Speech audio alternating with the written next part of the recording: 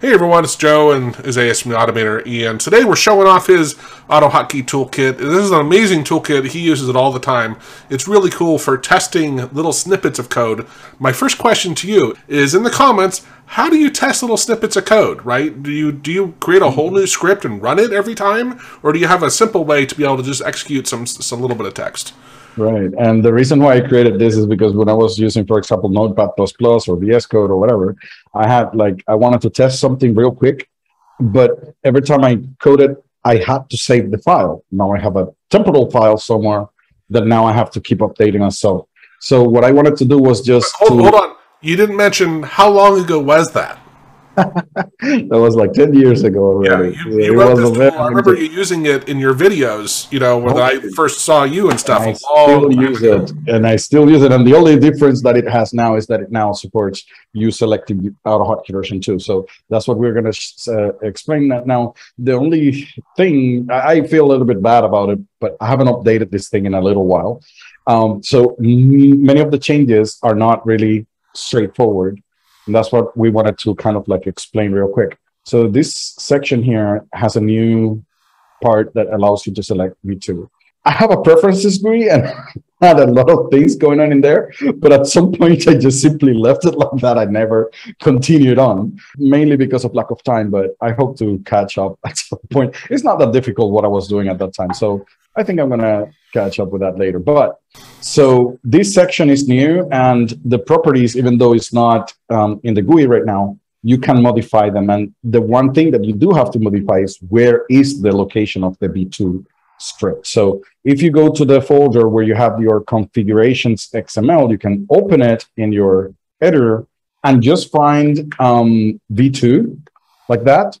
And I think the first one that pops up, let me let me go to the first one because it actually found many. So this is the first one that shows up. Now, the number one, uh, this is where I would choose different paths for auto hotkey. So you can just simply put it wherever you have yours. I would probably have a file select instead of this in, in the GUI. So what I would do is just pick a path for one of them um, and probably default to the default location of them because those are the default locations in my case. But anyways, you can just go here and add a new path there with the name Unicode 32B2 and Unicode 64B2. That's the only rule for the name. You can just copy that one and put B2 after that, and that's it. So after you do that, whenever you choose uh, one or the other, so right now, if you choose version one, it would work just fine. V2 is going to complain because everything is an expression, so you don't have to force it. If you switch to V2 right away, it would throw an error and say, hey, you're not using the correct syntax. If you remove that, then everything looks good.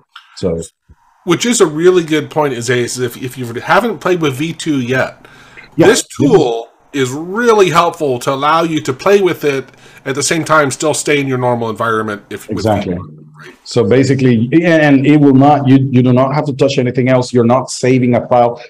Actually yes this thing is saving a file for you but it's not asking you right. for it which is what i don't like about the other tools. It's just that and i, I usually use uh, a hotkey alt r because it's a default button and you just go ahead and press alt r on that and it would run. But however you like it's just um I usually mainly use it to create GUIs really quickly. So I just create a GUI here. And after the GUI looks like I want, then I copy paste it into my main script because I don't want to be saving my script over and over again just to get one pixel right. You know what I mean? So as the other tools need me to save before running, that's where what uh, annoys me the most. Yeah. And slash or you might have a, a script that's four thousand lines, and you're like, I just want to test this little bit, and right. It's nice to be able to have an environment where you can throw it in very quickly, do some stuff, confirm it works or doesn't work, and then you know move it over. What some people might tell me is, okay, but you can select some code and run this uh, run selected code, which is one of the um, options that VS Code has, like you select some code. So does and, uh, run selected script or something like that. Um, what I find with that is that I have to keep selecting, and sometimes I select the wrong thing. So I, I just for whatever reason, I haven't used this particular option that much. I actually tend to just go ahead and open this tool. Maybe it's because uh, I'm I'm I'm um, used to it. Maybe that's the other thing. I'm used to just simply using this tool very often, and I forgot about the other options. No, I, I think the other thing is though is which we run into a lot, right? And we always tell people when people ask us for help when they try to troubleshoot, they have their code in their main script, and that has a lot of other stuff there, yeah. right? And when you bring it to its own environment, you've isolated it down. It's a super simple way to make sure you know you really understand what's going on, and you're really only right. troubleshooting that. And that is one I'll say because I don't know what happens when you select this. I guess it, like you said, it creates a temporary file, right? Well, it does, but but the other thing is that notice that I'm calling a, a function here that I'm right. not selecting. What is going to happen? Well, if I control, I think is let me let me check on that. Uh, run selected script Alt F9. It says Alt F9, but let me see the one for plus plus Control F9. Yeah, I will get an error, right? So, and actually, I don't even That's know weird. what yeah. that. Yeah, I don't even know what that is. Yeah. So, so, and that's the point. Um, in my case, I just make sure that whatever I'm running is isolated into one little unit that I know that everything must be there.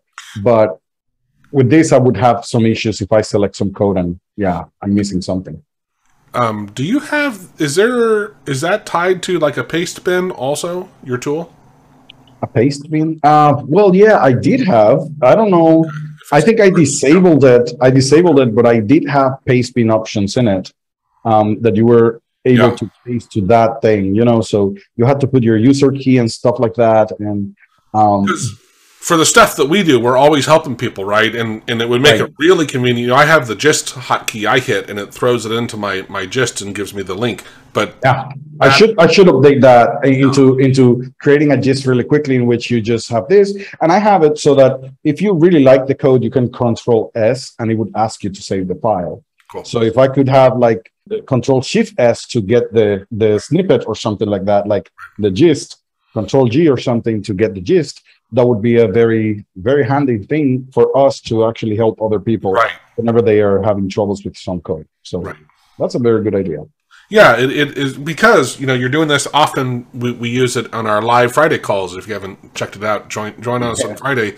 We just help people out, and it's we're often troubleshooting stuff, and we want to give them the code, but you know, in uh, YouTube, the you can only paste certain types. Some I think it's brackets or something you can't put in the chat. There's a lot of things that you can yeah. put in the chat. Yeah, even some swear words I've tried, but they don't work. But, but there you go. Awesome. So thanks everyone. Um, check it out. It's it's this is but this is how if you want to play with V2, it's a great way to check to be able to do that.